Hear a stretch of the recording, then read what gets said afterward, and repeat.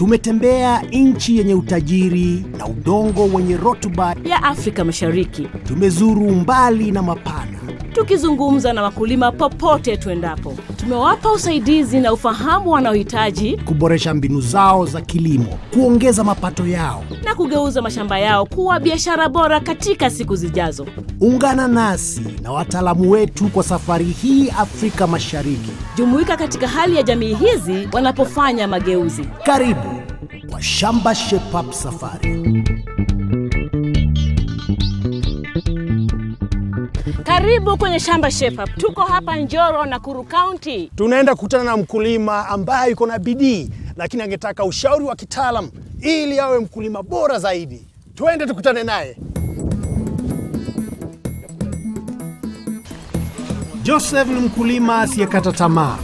Anaishi Njoro katika ekari nne na mkewe Grace na mtoto wao wa kike mwenye miaka kumi na minne. Grace na Joseph, tunafurahi sana kuwa hapa. Umetukaribisha. sana. Mumekaa hapa muda gani bwana Joseph? Uh, sasa hapa tumekaa miaka uh, kama 38. Na Grace, habari yako? Sasa niambie Grace, na wewe pia unasaidia mzee kulima? Na mko na watoto wangapi? Five. Bwana Joseph, kwa shamba lako uko na nini? Nina ng'ombe, nina mbuzi wa maziwa na nina kuku. Mimea yako iko namna gani? Ah, mimea pia ninakusa mahindi, mara, uh, maharagwe na pia ninakuza viazi za, za kisungu Ah, na pia nina viazi hizi tamu. Na sasa ng'ombe wako wako namna gani? Wanaendelea vizuri, sio wabaya. Kabisa kabisa. Kwa hivyo wanatoa maziwa mingi kabisa. Maziwa hawatoi kwa sababu ndio sasa niko katika foundation. Ehe. E, sijaendelea hivyo sana. Grace, pia nasikia kuna kuku hapa. Mm. Wewe unashughulikia kuku? Mm. Wako hali gani?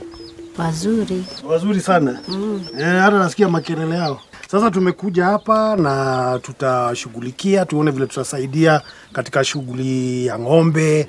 e, tuangalie mimea yako, kwa nini ina, ina matatizo, alafu pia tushughulikie kuku. Tuko hapa tufanye kazi kabisa, sawa sawa. Wakulima wenye bidii kabisa, onaji Naomi. Kweli kabisa. mm -hmm. lakini sasa leo unataka kuanza kazi gani? Nataka kuanza na kushughulikia na kazi ya kuku, alafu pia kuna ule mtoto ambaye yuko shuleni na najua anatatizika labda na mwangaza jioni akisoma, kwa hivyo nitasaidia hapo. Na wewe je? Mimi nataka kuangalia ng'ombe, kisha natamani sana eh, viazi kula viazi vitamu vya karoti. najua naelewa ya kwamba ni vizuri sana na wanawake wajawazito. Mbona waniangalia? Mimi si mjamzito, lakini ni nzuri sana kwa wanawake wajawazito na pia kwa wakongwe. Leo najisikia kushughulikia kuku. Haya basi, tuone kuku wa Joseph wanavyoendelea. Joseph na Grace wanafuga kuku 40 wa kienyeji ambao wanatumia kwa ajili ya nyama na mayai. Nimemuuliza Ruth, mtaalam kutoka Unga, kuangalia hali ya banda la kuku la Joseph.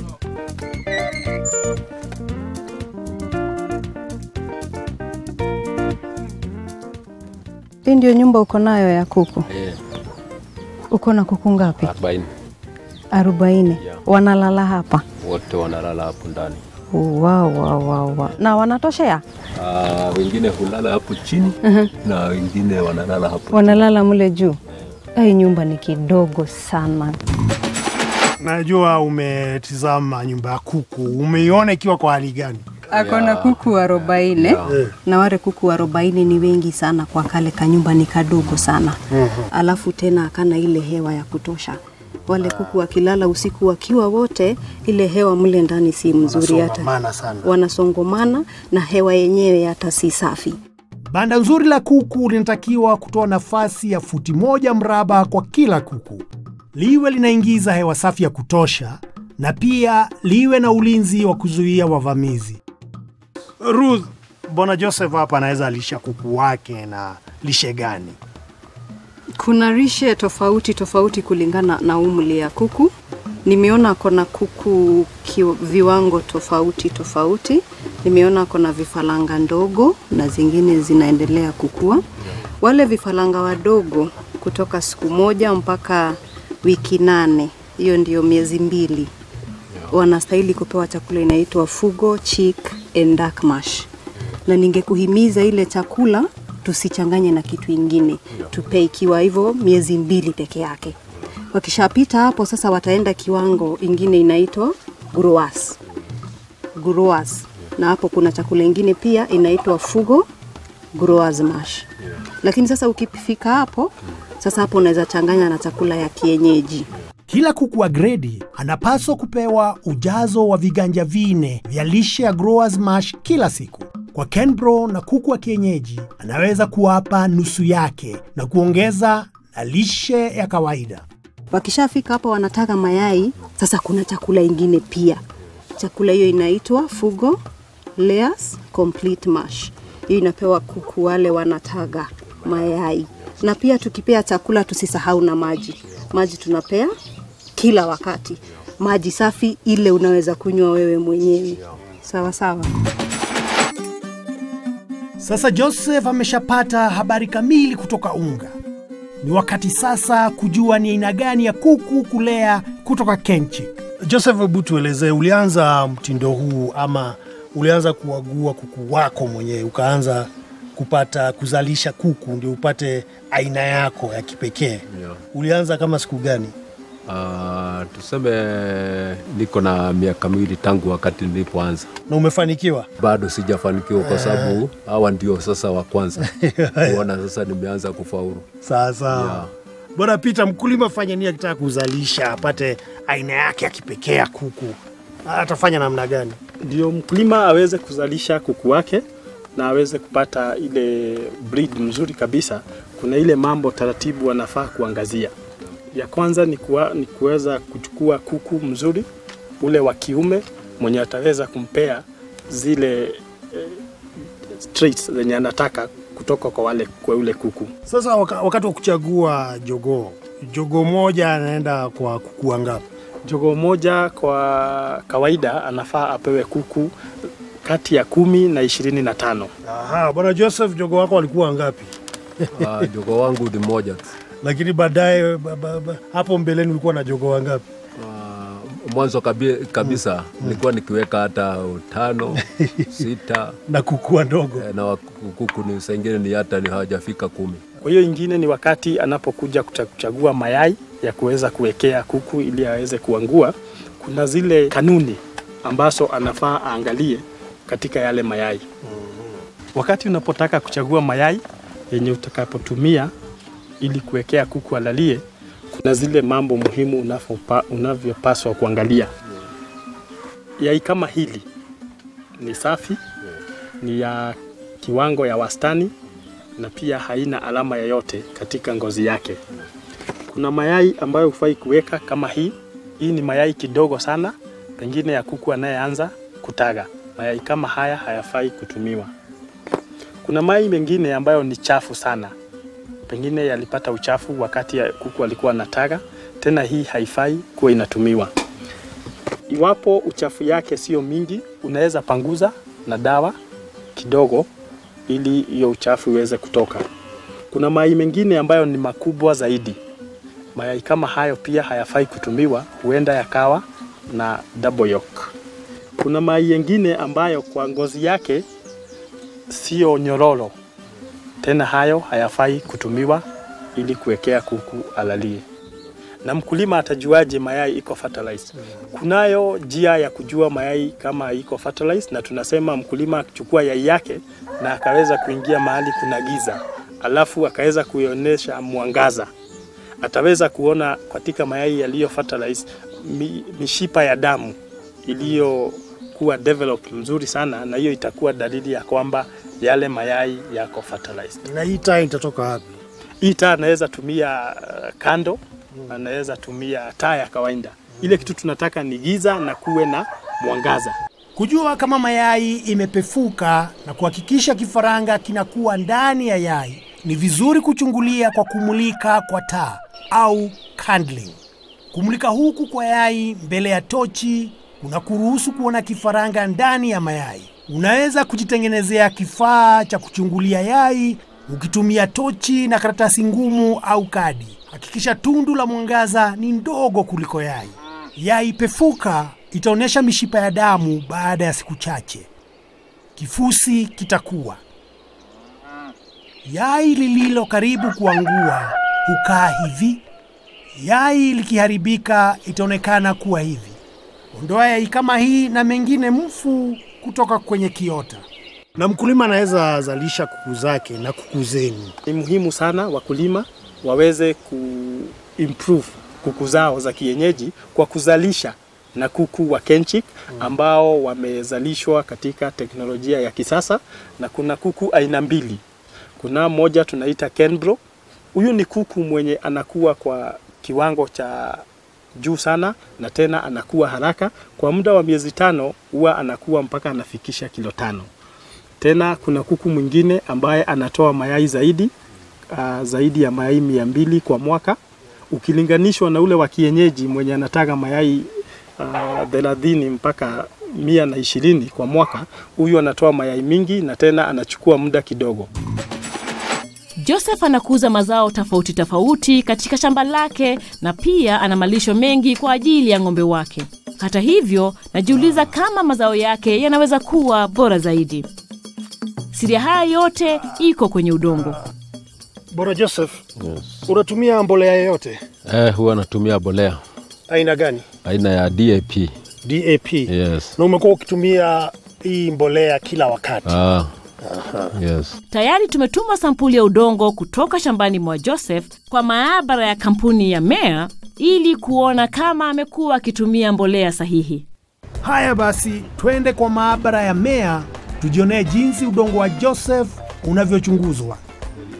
Tumechukua sampuli ndogo ya udongo kutoka sehemu 15 tofauti katika shamba la Joseph. Tumetoa taarifa za ni eneo gani udongo umetoka katika shamba na ni mimea gani Joseph anayopanda kwenye shamba lake.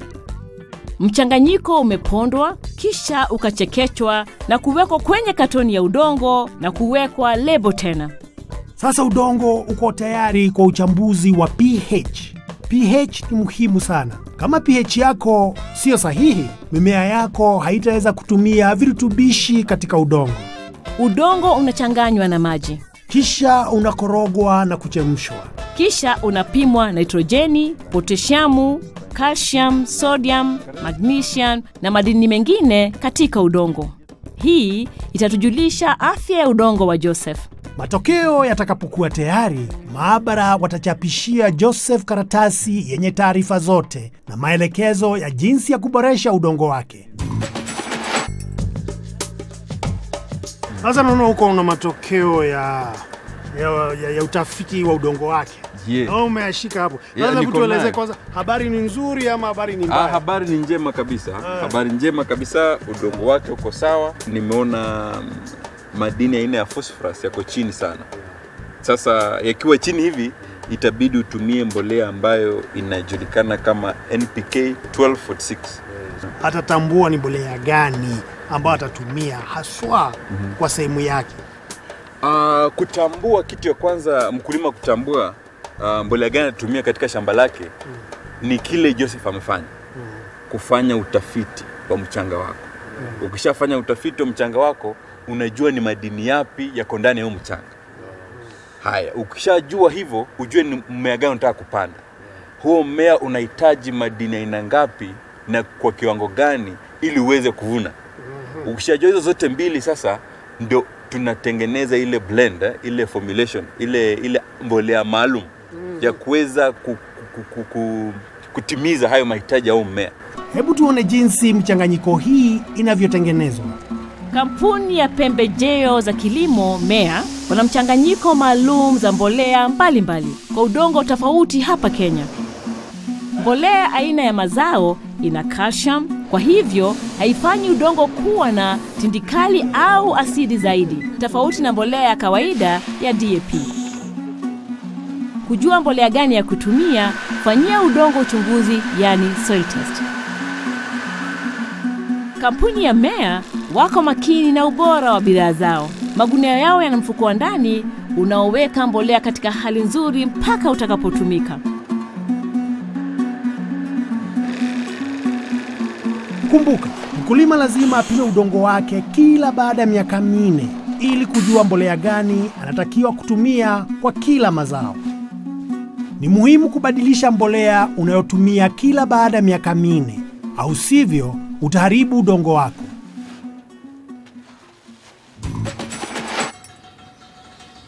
Tony, wacha mimi nakutafuta. Hey, kimya tafadhali. Hebu sikiza. Hata unajua ile kitu tunafanya wewe? Naomi, sijui nini inaendelea hapa. Turudi kwa shamba. Mengi baada ya mapumziko. Na tumerudi tena. Naomi, hatujasahau kwamba uko na hamu sana ya kula viazi vitamu kwa sababu labda wewe ni mjamzito. Ah, pia hiyo nashughulikia, lakini sasa pia nataka kujifunza jinsi ya kuhifadhi lishe wakati wa kiangazi. Na mimi Naomi nataka nikashughulikie daylight, Maana naona jua imewaka sana. Eh, tukashughulikia hayo. Haya, haya, tuonane baadaye. Haya Naomi. Joseph ana ng'ombe wawili wenye afya nzuri na malisho ya kupendeza, lakini anataka ng'ombe wake waweze kutoa maziwa zaidi. Uh, sasa James, tumezunguka kwenye shamba na tukaangalia tukaona Joseph hapa ana lishe tofauti. Naam, Umeona ni amefanya kazi mzuri, amejaribu. Ni mkulima wa kielelezo wa ilia hii, Ehe. kwa sababu tumeona amechanganya chakula za aina nyingi za kupatia ng'ombe madini tofauti tofauti. Joseph anapanda nyasi za Napier na Boma Roads ambayo ni chanzo nzuri cha nguvu kwa ng'ombe wake. Pia ana lusana Kaliandra ambayo ni chanzo nzuri cha proteni kwa mifugo wake. Na sasa anaweza kuhifadhi aje hiyo lishe? Kuhifadhi ni kukata ile majani ikifika kiwango ama ikikua kwa ile level inatakikana, tena kuikausha kidogo na kuhifadhi kwa store.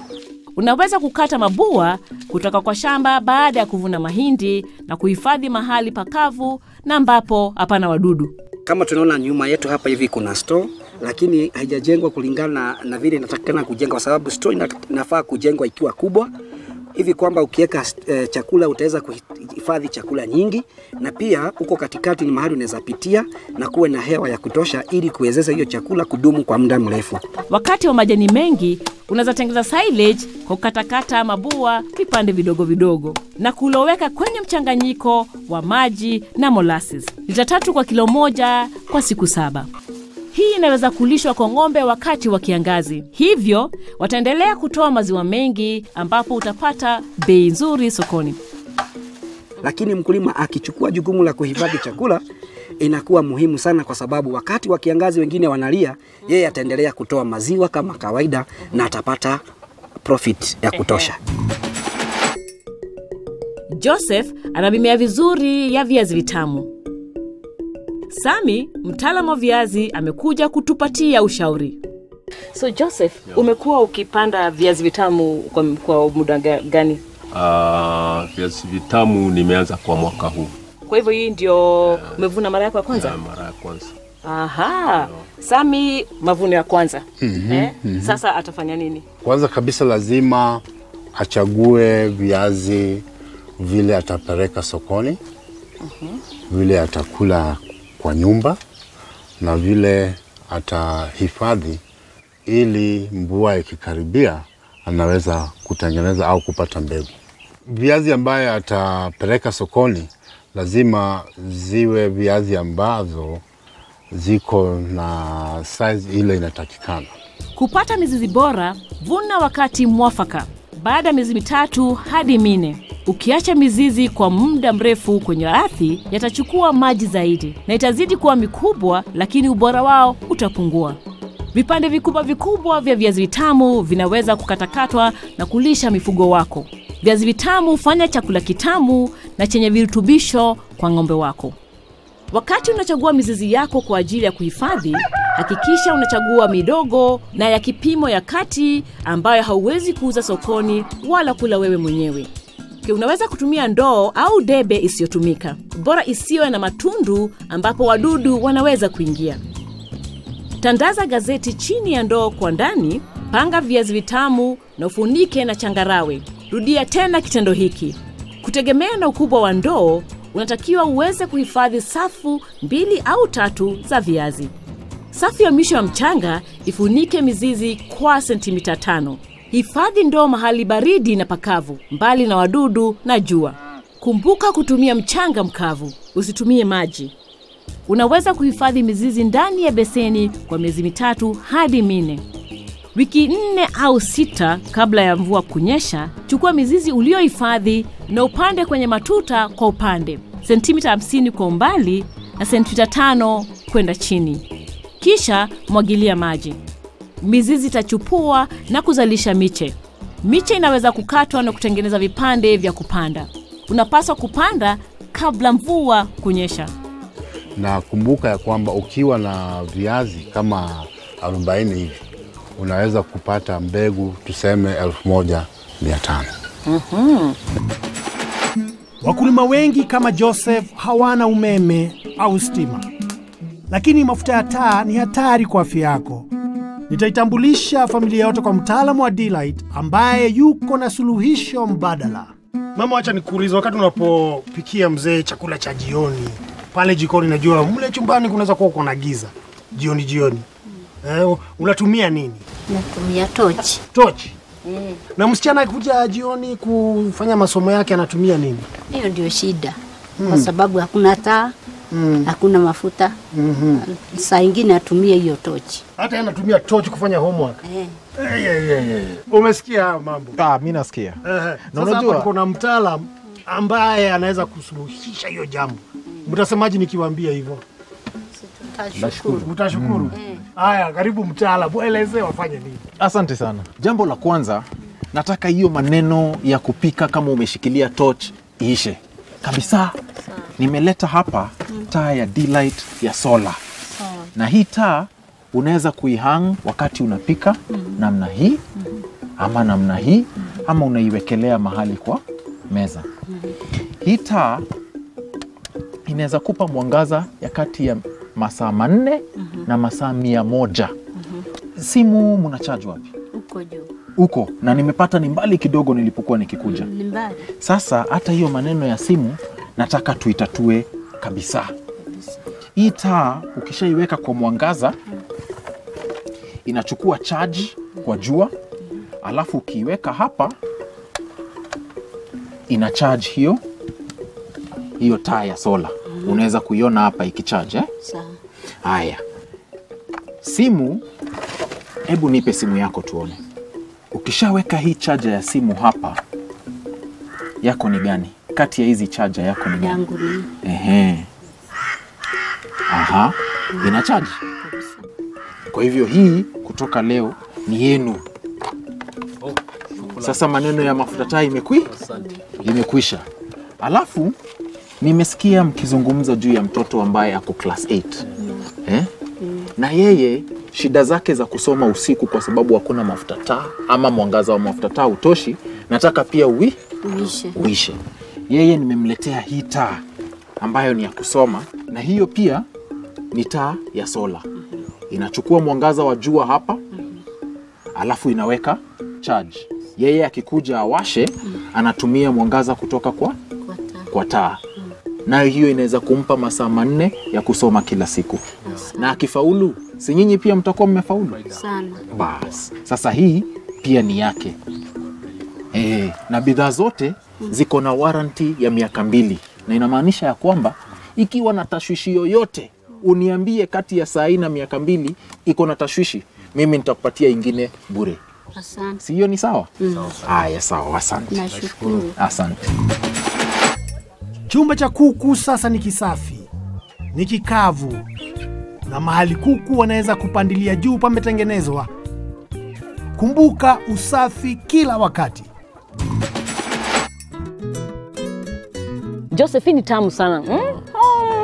Mm, mzuri kabisa. Mm? Sasa Joseph, wakati wetu wa kwenda umefika. Sasa umejifunza mengi, umefurahi namna gani? Ah, nimeshukuru kwa sababu hakika nimejifundisha mengi. Ah, hasa kama hii viazi tunakula pahali hapa. Mm nimejifundisha namna ya kuipanda kwa njia nzuri na pia kuhifadhi. Ah, ili kapate kunisaidia muda mrefu na pia kupeleka hata sokoni. mm -hmm. Ya, kwa hivyo pia nimejifundisha namna ya kujenga nyumba nzuri ya kuku na, uh, na kuweka kuku wale wanaweza kuwa na afya mzuri. Pia nimejifundisha kuhusu uh, kupima mchanga Lakini sasa niulize, kuna za chakula zingine ni tamu sana eh? Eh, iko iko kwa sababu pale shambani Eh. uh, bado niko na na, na nyingi. Na Grace hapa amepika yeah, nyingi Yeah, amepika konaye nyingi, hata ukitaka kubeba iko hata kubeba ile ya kuniende niende eh, nikikula. eh, iko iko Yes. Asante sana Yes. Joseph. Eh, Asante. Okay. na tumeburudika katika shamba la Joseph. Tutakutana wakati mwingine kwa Shamba Shape Up. Shamba Shape Up iko kwenye mtandao. Ukitaka kujifundisha mengi kuhusu mijadala ya leo au kukitazama kipindi chochote cha hapo awali, tutembelee kwa shambashapeup.com. Chagua kipindi alafu bonyeza play. Waweza pia ukatutembelea kwenye ukurasa wetu wa Facebook Shamba Shape Up ili upate mawaidha zaidi, ujihusishe na mijadala na pia waweza ukapata zawadi kemkem. Unaweza pia kutupata kwenye Twitter at Shamba Shape Up.